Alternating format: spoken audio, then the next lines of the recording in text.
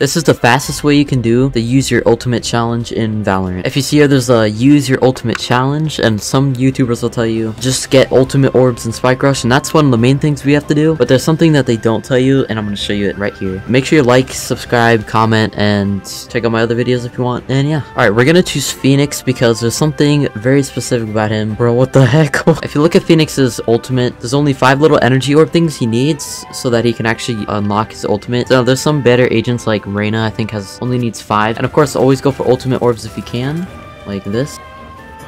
And use it immediately, no matter what character, use it immediately. So yeah, that's all you have to do. And that's about it, so yeah.